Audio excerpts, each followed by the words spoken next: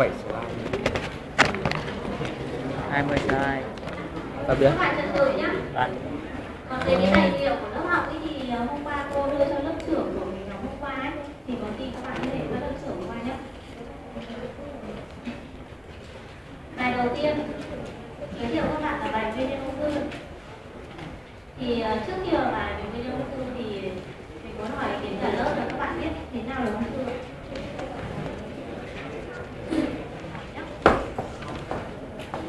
Thưa cô thưa cô là nguyên nhân ung thư là à, ung thư là sự ờ, phát triển Bệnh. quá mức của tế bào. Một bệnh ác tính. Ờ, vượt qua ngoài sự kiểm soát của cơ thể. Quá trời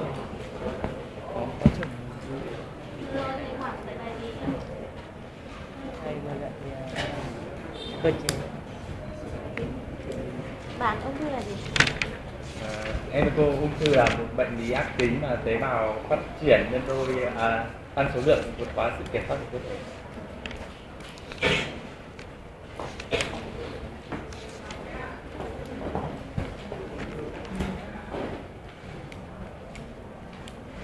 Thế giống như hai bạn vừa nói thì ung thư nó là bệnh lý ác tính của tế bào đúng không? Và trong đấy thì tế bào nó tăng sinh một cách vô ờ, vô hạn độ và không tuân theo sự kiểm soát của cơ thể. Thế các bạn nhìn nhá. Đây là những cái tế bào này, bắt đầu từ những tế bào đây là tế bào bình thường nhá. Ví dụ đây là một cái ung thư da. Đấy. Đây là các cái tế bào bằng đáy bình thường. Đây bắt đầu có sự tăng sinh của các tế bào ban đầu thì nó chỉ là dành nhiều thôi. Đấy. Thì nó chưa vượt qua bằng đáy thì cái này thì nó mới chỉ là mình nó chưa có ung thư và khi mà tế bào ung thư tăng sinh vô hoạt động và bắt đầu có sự xâm lấn vào lớp màng đáy các tế bào nó bắt đầu chui qua cái lớp màng đáy để vào cái mô xung quanh như này thì bắt đầu chúng lúc này thì gọi ung thư tình ung thư thì nó có hai đặc tính đấy là xâm lấn và dịch ăn, đây là ung thư mang tính chất xâm lấn. Nó lan tràn ra các mô tế cận. Và cái hai di căn tức là nó đi vào thanh quan và vào máu, và đi đến các cái mô khác ở trong cơ thể. Ví dụ như là ung thư đi qua máu này và cho tế bào gan. Và thành của gan và dần dần dần đến là những cái ung thư của trong gan. Và cái đặc điểm của di căn tại tổ chức di căn thì cái tế bào ung thư đại tổ chức gan nó mang đặc tính của tế bào của cái phát ban đầu đấy nhá các bạn hiểu một chút thế nào là ung thư thế vậy tại sao lại bị ung thư để tiếp nhá bạn nào biết là tại sao ung thư không tự lý thôi không phải đọc sách rất đơn giản nghĩa là tại sao lại bị dịch là nguyên nhân ung thư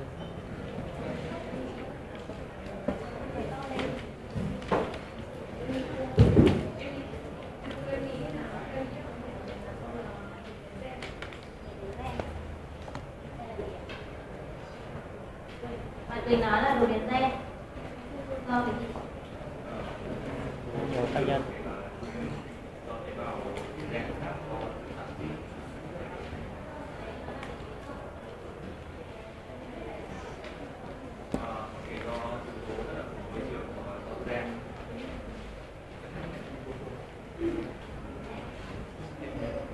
Thưa cô là em nghĩ nguyên nhân tại cái ung thư là do có thể một là do tác nhân tác động của môi trường ạ. Cái thứ hai là do có thể yếu tố di chuyển do liên quan đến gen ạ. thì tất cả cái yếu tố đấy thì làm ảnh hưởng đến quá trình phân chia của tế bào thì có thể làm tăng sinh tế bào một cách kiểm soát có thể đến ung thư là ba bạn thì nói rất là đúng đúng không? Thực ra mình có thể suy luận mình biết được nguyên nhân ung thư là gì. Thực ra mình chỉ cần hiểu là ung thư là gì, thực ra là bản chất của ung thư là do tế bào bị đột biến, đúng không? Theo mình nhá, để biết được nguyên nhân thì phải biết cái nguồn gốc cơ bản của nó. Ung thư là nguyên nhân là do đột biến gen. Tuy nhiên thì không phải những gen nào đột biến gây ung thư mà chỉ có một số gen đột biến gây ung thư thôi biến gen gây đột biến ung thư người ta gọi là oncogen gen. Vừa đấy thì quản cũng có nói rồi, đúng không? Bài trước cũng có nói về cái oncogen này rồi và tất cả những cái tác nhân mà tác dụng lên cái oncogen này gây ung thư, gọi là tác nhân gây ung thư và trong tiếng Anh mình gọi là carcinogen thì nó chính là cái nguyên nhân gây ung thư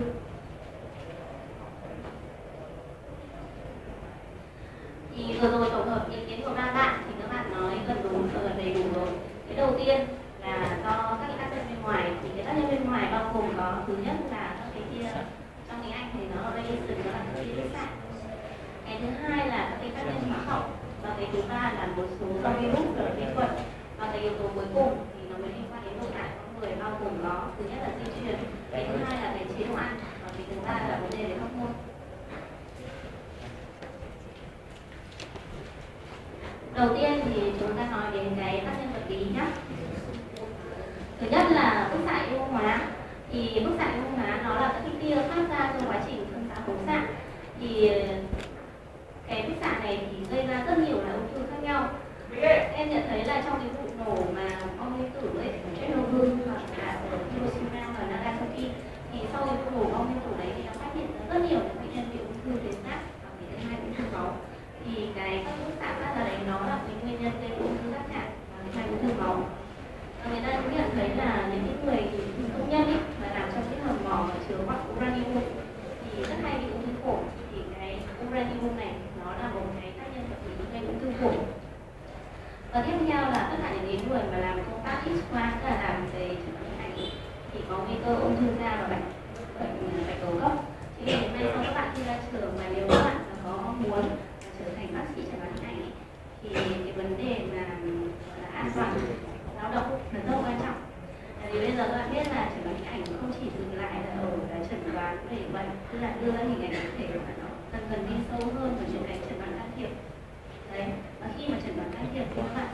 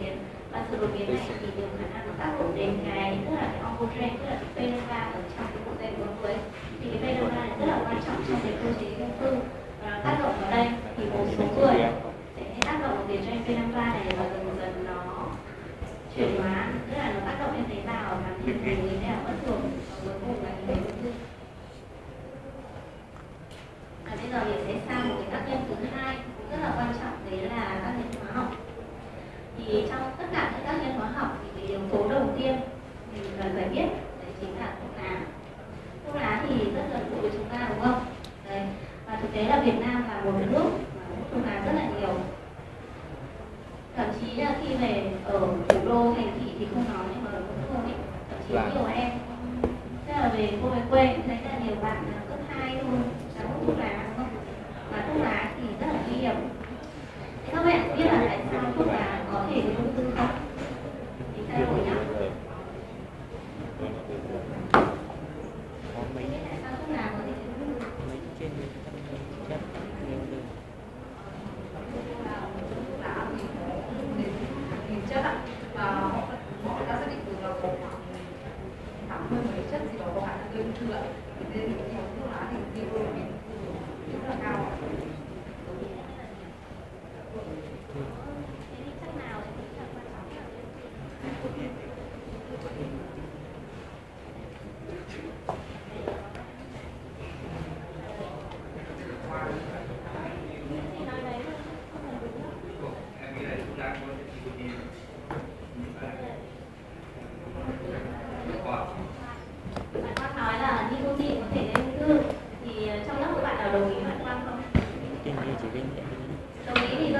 không đồng ý thì thôi. Đồng ý thì sẽ bảo đấy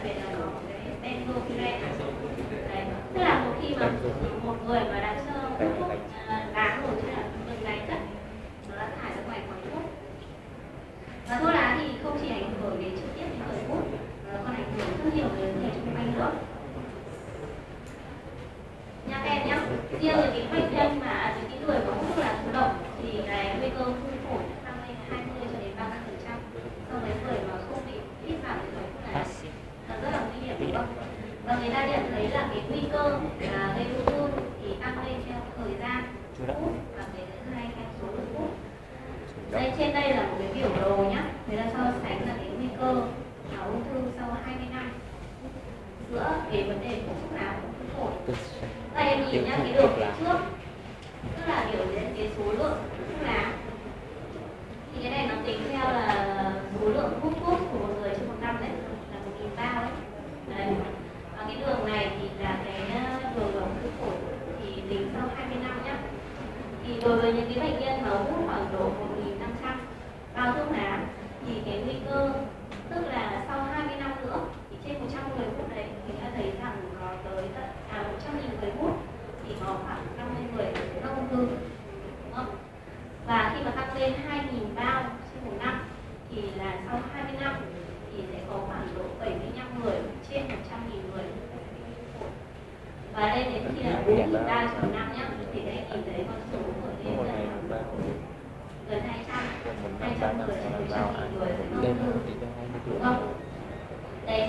Kế 一家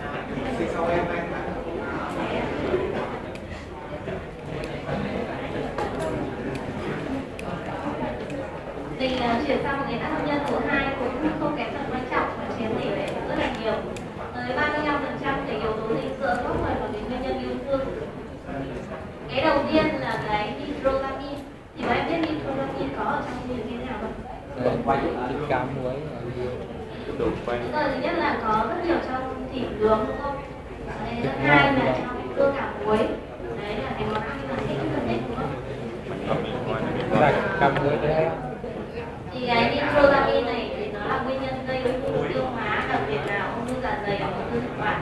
Chính vì thế là giải thích tại sao ở nhật bản hàn quốc cái tỷ lệ ung thư dạ dày rất là cao. Và nguyên nhân tại sao là bởi họ ăn cơm cuốn và kim chi đấy đấy đủ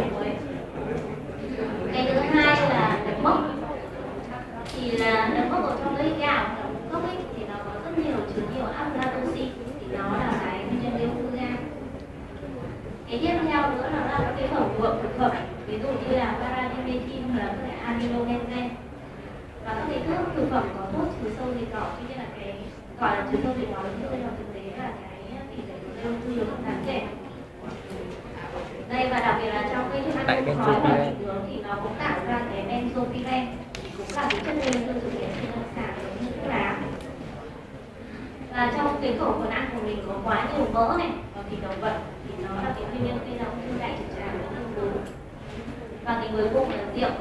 Đấy, rượu thực tế nó cũng không phải là yếu tố gây ung thư nhiều lắm đâu, nhưng mà nó có thể kết hợp cộng hưởng với nhiều yếu khác, đó là tăng cái ung thư.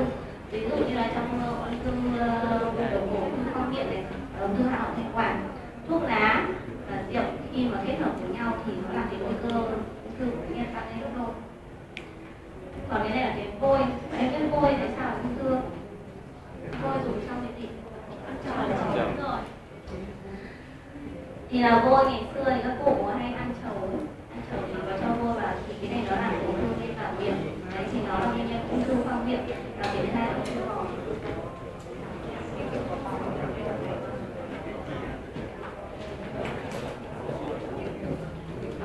một cái tác nhân hóa học tiếp theo đấy là liên quan đến nghề nghiệp thì từ những năm 1775 thì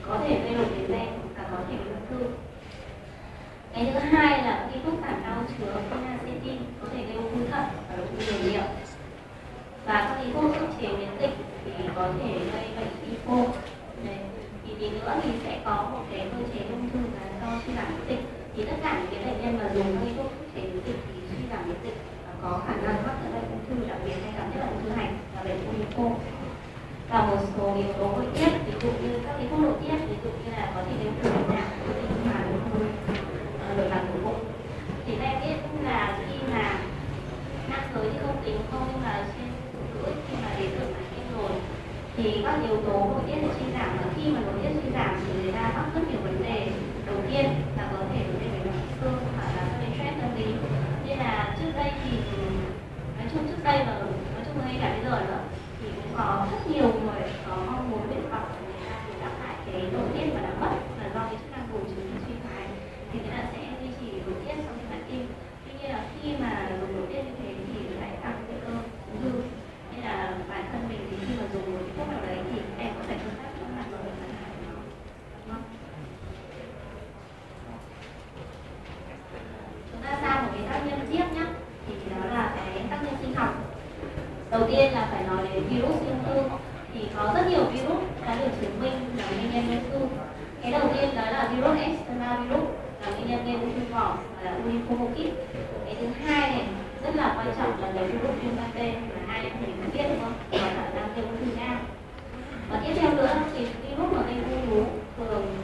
quan đến sinh dục, thì có thể ung thư sinh dục.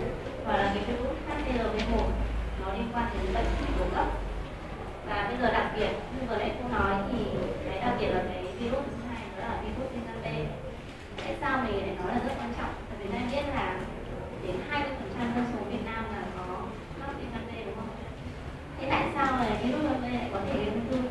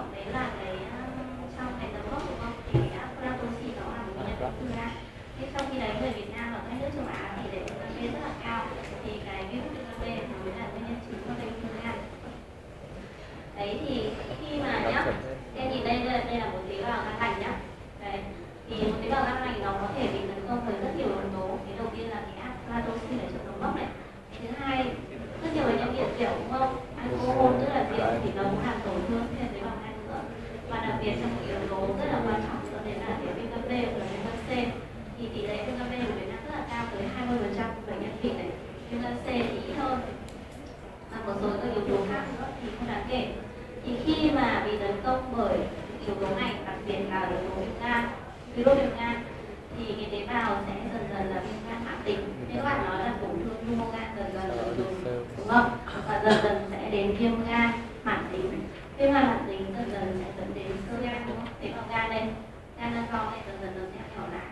Và khi mà sơ gan, thì đặc biệt là trong cái thực ra là cái virus viêm gan thì nó có bản chất là ARN hoặc là ADN đúng không? Thì bản thân nó thì nó có khả năng là tích hợp vào cái ờ, bộ gen. Đấy đặc biệt là nó có thể có tích hợp vào cái P53 nó là cái oncogen tức là cái gen gây ung thư. Đấy. Và khi nó tích hợp vào đấy thì nó có thể nguy cơ là gây đột biến làm đột biến cái gen đấy.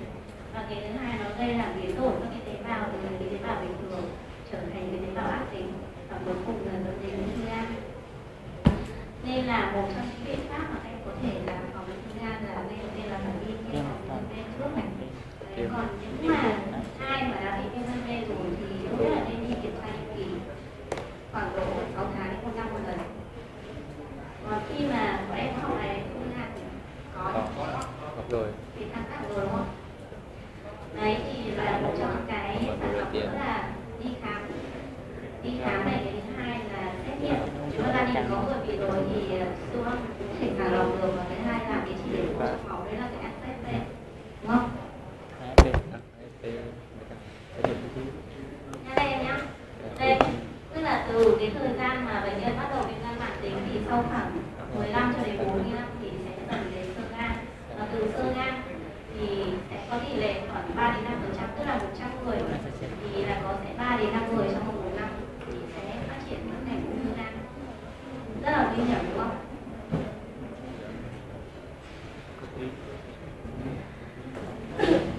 Thì chuyển sang một cái tác nhân sinh học nữa.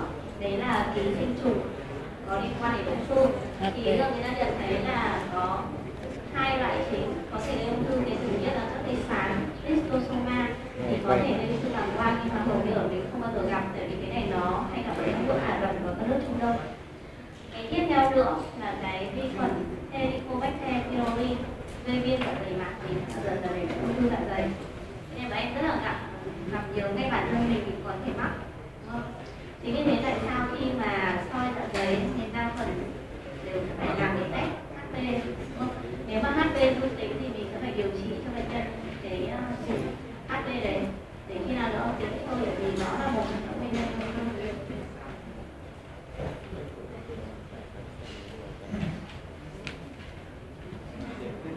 một cái yếu tố nữa cũng góp phần gây ung thư đấy là các yếu tố di truyền mà thực ra yếu tố di truyền thì nó đóng vai trò cũng ít thôi tức là nếu mà gia đình mà có thế hệ ví dụ bố mẹ mà bị ung thư thì cái thế hệ sau có nguy cơ tăng hơn một chút, cao hơn so với người bình thường.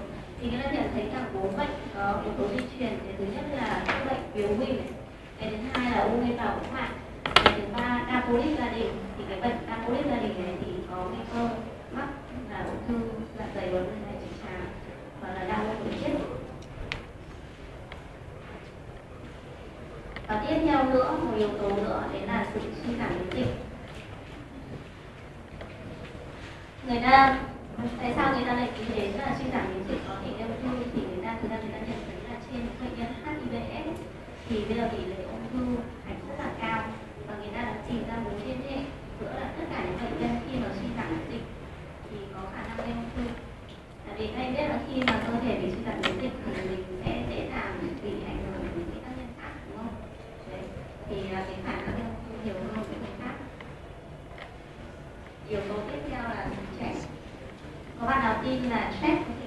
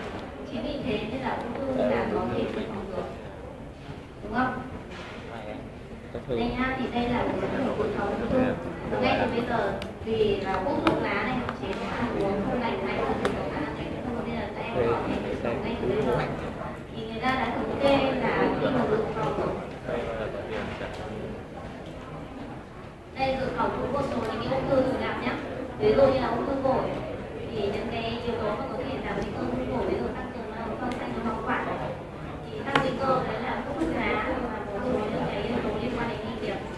Thì có khả năng dự phòng được à, chế độ ăn uống có thể chuyển tới 33 đến 50 phần trăm. Đây ung thư dạ dày thì nếu mà mình phòng ngừa chế độ ăn uống thì có thể tới 66 đến 75 phần trăm. Ung thư vú Ui, coffee, that uh,